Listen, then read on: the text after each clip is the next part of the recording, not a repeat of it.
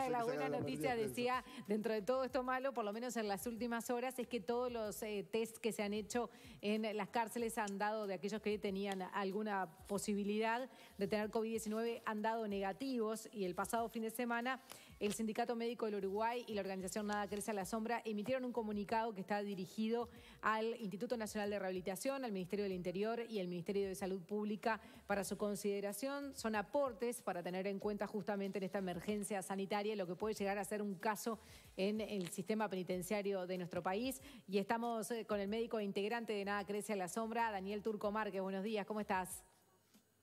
Un placer, buenos días. Bienvenido. Un placer estar con ustedes partes de la mañana. Muchas gracias, bienvenido. Eh, bueno, decíamos, hasta ayer por lo menos la información era que habían dado todos negativos, ¿no? Los test. Sí, efectivamente, hasta ayer fueron negativos, tampoco fueron muchos, fueron un total de nueve test realizados. Y bueno, justamente. ¿Y cuántos habían pedido? Eh, no, efectivamente se hicieron nueve y eh, se aislaron bastante más personas, cerca de 19 personas fueron aisladas pero en función a los contactos de esos posibles casos. Entonces, cuando se confirma un posible caso negativo, también eh, se libera a los contactos del aislamiento. Bien, eh, y en ese caso, ¿dónde estaban aislados?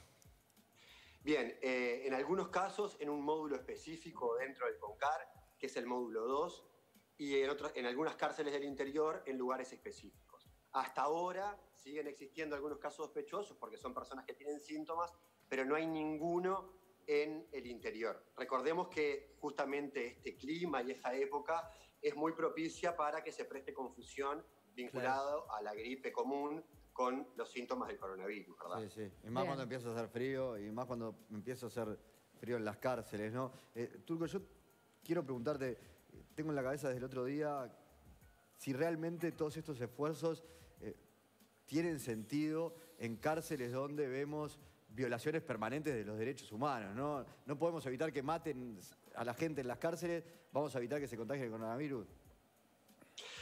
Bien, es interesante e, esa reflexión.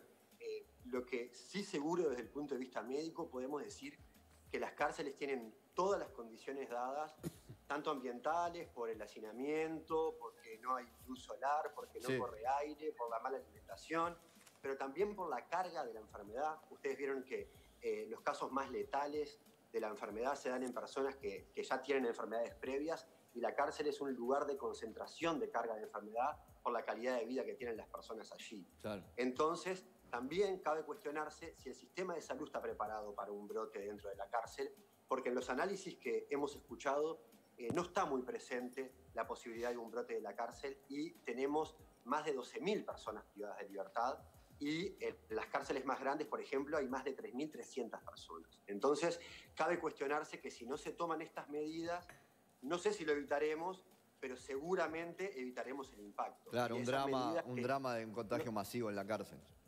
Exacto, y esas medidas que, que hemos propuesto en conjunto con el sindicato, que es con quien venimos trabajando ya hace bastante tiempo en un diagnóstico de salud, hicimos un diagnóstico por el cual podemos aseverar que la calidad de vida de las personas privadas de libertad es muy mala, hay datos que sorprenden muchísimo. ¿Cómo cuáles, muchísimo.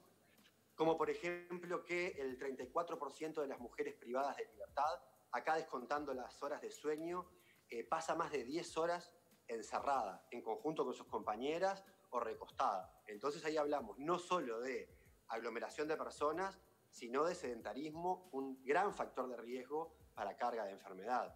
Otro dato que sorprende muchísimo es que una de cada cuatro mujeres ha intentado matarse estando en prisión, que eso habla también de la calidad de vida que tiene estar en prisión. Y otros datos vinculados a carga de enfermedad, a mala alimentación. Y acá deberíamos sumar también, que creo que es algo importante para la reflexión, es que las visitas bajaron drásticamente. Y las visitas para las personas privadas de libertad no es solo la posibilidad de tener insumos de higiene y de alimentación, sino es la posibilidad de liberar la tensión. Claro, una, contención más emocional. Claro, ¿y cómo, se están realizando ahora las visitas? Bien, las visitas se realizan, este, bueno, solo una visita por persona privada de libertad. No entran personas de riesgo ni personas que tengan síntomas, se toma la temperatura dentro de la cárcel y se intenta que la visita transcurra dentro de las condiciones ambientales lo más adaptadas posible. Pero bueno, ni que hablar que que es, es un riesgo porque la atención, yo estuve yendo a la cárcel estos días y me encontré con una cárcel que no había visto nunca. ¿Qué te encontraste? Y me, y me encontré con una cárcel desolada, este, con las personas privadas de libertad colgadas de las ventanas gritando y, y pidiendo preguntas. Nosotros tenemos un vínculo muy cercano porque trabajamos hace mucho con, con ellas y ellos. Y bueno, y tienen dudas que son sumamente pertinentes, eh, dudas que puede tener cualquier otro paciente que uno atiende ¿Qué es lo que te fuera de la preguntan? de libertad. Y por ejemplo, me han preguntado este, que uno de sus hijos tiene fiebre, eh, si puede tener coronavirus, qué pasa con la, con la pareja que, que va a visitarlo si su hijo tiene fiebre. Me preguntan cómo hacer para no contagiar a sus compañeros porque no tienen un mate y un termo cada uno y muchas veces el mate es la única colación junto con pan que pueden tener en el medio si no tienen otro tipo de alimentación. Si bien entendemos, y eso también lo percibí yendo a la cárcel, que el esfuerzo que está realizando el personal penitenciario, Bueno, eso te iba a particularmente consultar, de- si, en qué condiciones están trabajando, si, si tienen este, insumos de, de protección sanitaria. Bien, eh, un poco eso, se está haciendo muchísimo esfuerzo, inclusive nosotros apoyamos la- el esfuerzo que está haciendo la dirección del INR, pero esto requiere la acción de todo el Estado. Hay acciones, por ejemplo, del sistema de salud que deberían estar aún más presentes y otros eh, eh, organismos de- del Estado, pero entendemos que los funcionarios y las funcionarias están haciendo todo con muy poco. Si bien han existido donaciones de insumos médicos, particularmente nosotros estamos recibiendo donaciones de, hemos donado a través de las empresas cientos de litros de productos de limpieza y también canastas, más de 900 canastas en una asociación con Canasta Azul, pero ni que hablar que los insumos son finitos. Ahora ustedes estaban, este, estaban mirando en el avance, estaban eh, hablando de la noticia de que algunos eh, organismos utilizan insumos médicos que requerimos los médicos y el personal de salud para trabajar. Eso es gran parte de la crítica que uno puede hacer en lugares, organismos o uno en la calle mismo cuando va a trabajar, ve a la gente con insumos que nosotros necesitamos para trabajar. Entonces, ahí es sumamente necesario. También estamos pidiendo ¿Dónde los viste, por ejemplo, ayer en el Parlamento? por ejemplo, en la noticia que ustedes estaban dando el avance, lo estaba mirando recién y me sorprendió. Este, no puedo creer que, que se dé esa señal, eh, esa, esa imagen. Entendemos de que si bien este, hay aglomeración de personas en esos lugares, la distancia que pueden tener siendo prudente y los tapabocas comunes, que es este, y, y las, y las máscaras de protección facial que se usan, este, me parece que justamente las máscaras es algo que, que nosotros necesitamos cuando hacemos procedimientos. Ni Turco. siquiera nosotros... Pero, pero, pero, ¿están faltando máscaras en algún lugar que, que sea vital como para decir, criticar que otros estén usando? Y no, bueno, pero eh, creo que justamente son insumos que son finitos y si vemos las experiencias de otros lugares, si vemos el número en las cárceles, por ejemplo, es algo que ni que hablar, hay que cuestionarse, no hay que dejarlo pasar. De hecho, el propio ministerio ha exhortado que las personas eh, utilicen este, insumos que no son insumos médicos, como por ejemplo los tapabocas descartables. Ni siquiera nosotros, cuando trabajamos en algún servicio, por ejemplo, de emergencia, utilizamos la máscara de protección facial. Las utilizamos cuando hay eh, algún tipo de maniobra con algún material biológico, etc. Claro. Entonces creo que debemos cuidar eso. Lo mismo pasa, eh, y es responsabilidad de quienes trabajamos en la salud, de criticar la suba de precios terrible. Nosotros estuvimos averiguando, por ejemplo, para el tema de las cárceles, el tema de- del precio de los tapabocas, que ha subido muchísimo. Antes de esto, si uno pensaba en comprar tapabocas, este, o, o cualquier otro insumo, era algo muy barato y ahora es algo caro, que si lo pensamos en más de 3.300 personas privadas de libertad en el CONCAR, por eso estamos pidiendo también tapabocas para poder donar para las personas privadas de libertad. Entonces ahí creo que es sumamente necesario cuestionarse y reflexionar al respecto. Este, aquí uno puede tener una mirada de abordaje a, a los derechos humanos, que ni que hablar la salud no puede estar privada para nadie, para las personas privadas de libertad tampoco, pero si la enfermedad ingresa a la cárcel, la crisis sanitaria nacional se va a ver mucho más agravada. Claro, hablábamos y vamos en, estas semanas, Turco, de lo que pasó en el Vilar de Boy, las cárceles va a ser muchísimo más. Bien, ahí también hay un ejemplo que estuvimos reflexionando con los compañeros del Sindicato Médico del Uruguay cuando hicimos este equipo de trabajo. Debemos tomar la experiencia de las condiciones de encierro, de la salud en condiciones de encierro. El caso de Bo es un caso que está anticipando lo que puede ocurrir en mucho menor escala lo del Vilar de Bo de lo que puede ocurrir en las cárceles. Las condiciones de salud en el encierro ya son terribles porque el encierro ya genera consecuencias para la salud. El encierro no es algo deseable para la salud de ninguna persona, ni para la física ni para la mental. Entonces allí hay que cuestionarse no solo las medidas, ahora las medidas que se están tomando, por eso propusimos con los compañeros del sindicato esta medida que para algunos puede sonar extrema, pero es la única forma de evitar que ingrese eh, la enfermedad a la cárcel, ahora nos está haciendo lo que propusimos. Eh, nosotros propusimos que se haga una cuarentena a todos los ingresos.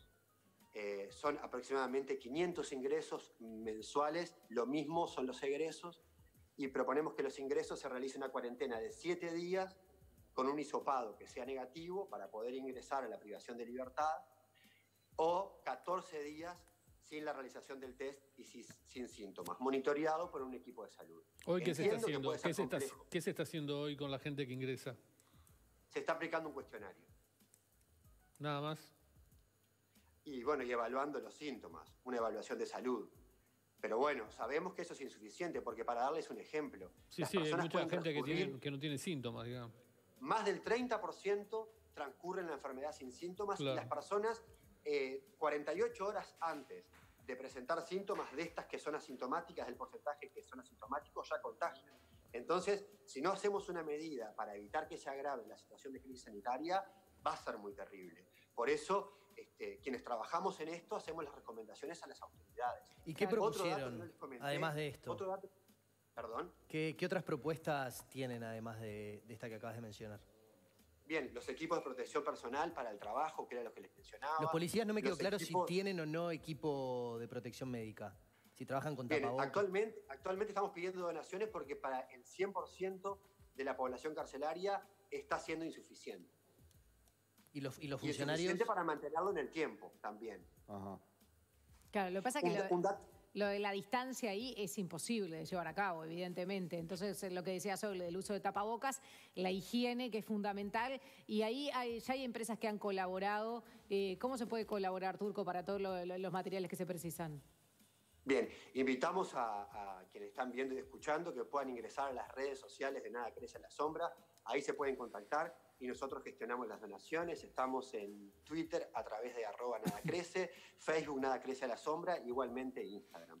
Un dato que no les comenté que me parece importante es que tenemos que ser coherentes también con el mensaje que le damos desde el Estado a la población privada de libertad. No son las mismas recomendaciones que hacemos para el afuera, para el adentro.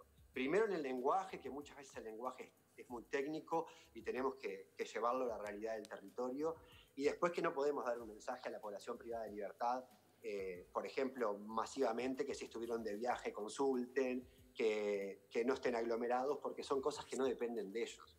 Entonces, claramente, cuando se, se, da un mensaje, el mensaje tiene que ser adaptado para la población privada de libertad. El último dato que, que les doy, para no aburrir con números, es que en el censo que hicimos al 100% de las personas privadas de libertad, casi un 80% de las personas censadas entiende que hay barreras al acceso a los servicios de salud. Entonces ahí tenemos que tener un foco también si pensamos en la pandemia.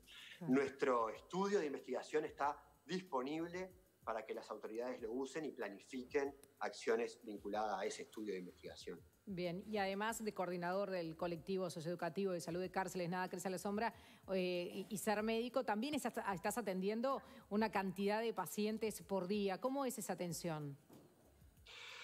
Bueno, eh, es algo que, a los médicos este, y a las médicas, a todos nos tiene súper tensionados. Es un trabajo que, que, tiene una gran carga de salud mental porque las personas están, este, si bien yo siento que ahora se aflojó un poco la mano con el tema del distanciamiento social, este, las personas traen en la consulta mucha angustia y mucho temor y es responsabilidad de nosotros intentar este, tranquilizar porque los problemas de salud, el resto siguen existiendo y, no se está dando una atención focalizada a eso porque ahora pareciera que todo es coronavirus.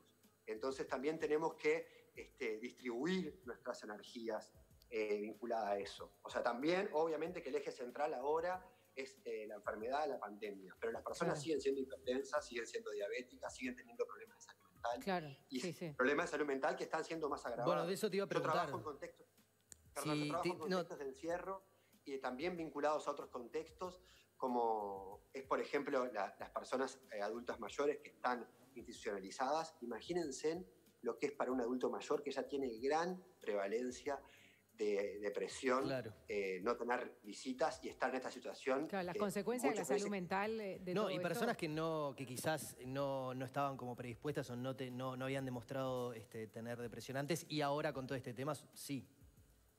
Claramente. Claramente esto este, activa mecanismos. Eh, Es muy difícil para el adulto mayor, por ejemplo, pero también para las personas privadas de libertad o cualquier otra población vulnerada. Podemos mencionarlas a todas. Sí. El distanciamiento social. Eh, Claro. También para nosotros que muchas veces necesitamos o eh, darle la mano o al transmitir una mala noticia eh, en estas enfermedades que siguen transcurriendo, muchas veces el contacto y lenguaje paraverbal. Este, una sonrisa, por ejemplo, que a veces no, no, ahora no podemos dar la sonrisa porque está tapada por el tapaboca. Esa contención y el lenguaje paraverbal para nosotros es sumamente importante y es una herramienta de trabajo que ahora está siendo limitada. Y bueno, ten- tenemos que, que- que hacerlo porque es, es la forma de cuidar al resto y cuidarnos a nosotros.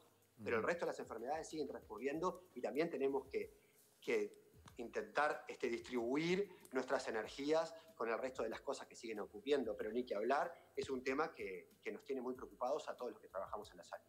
Sin lugar a dudas. Eh, ¿cómo, ¿Cómo ves a la gente? Dijiste, bueno, ahora se aflojó un poco, quizás también el miedo, la cantidad de dudas, ahora la gente está más informada de cómo cuidarse, eh, pero bueno, desde muchos lados decimos se aflojó un poco al volver mucha gente a trabajar, se ve otro movimiento. Eh, eh, ¿Cómo ves justamente esta curva de la que tanto hablamos acá en Uruguay?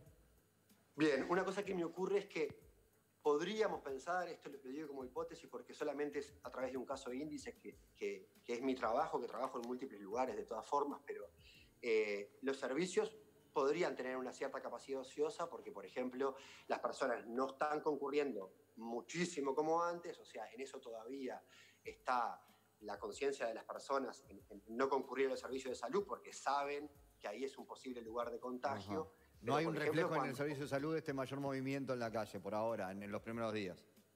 En los primeros días no, pero sí, por ejemplo, cuando me traslado en el lugar de trabajo, veo Sí, sí. muchísima más gente en la calle que antes cuando me trasladaba, eh, por ejemplo, en los semáforos, eh, estaba solamente yo y ahora veo que hay fila. Tal cual. Entonces creo que to- a todos nos pasa lo mismo, ustedes me imagino que también cuando van a sus trabajos, pero ni que hablar que, por ejemplo, las cirugías están siendo postergadas, fueron postergadas, las consultas de controles también fueron postergadas.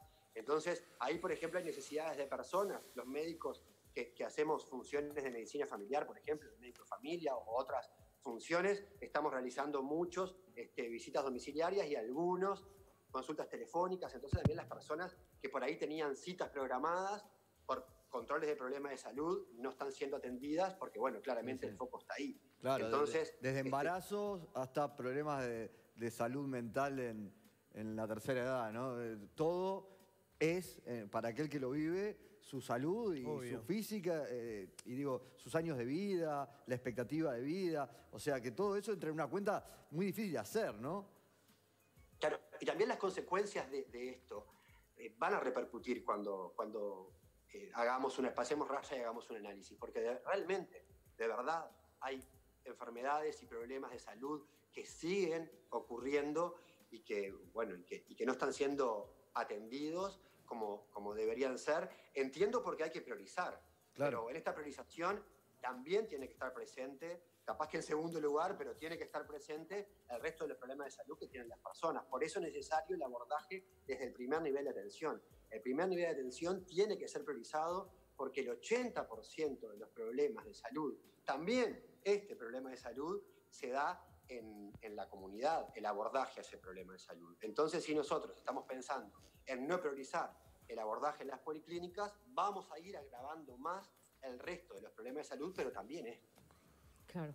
Daniel Turco Márquez, muchísimas gracias por este contacto. Ha sido un placerazo estar con ustedes y a las órdenes como siempre. Gracias. Igualmente, gracias, hasta muchas luego. gracias. Tenemos que hacer una tanda. Al regreso vamos a estar hablando.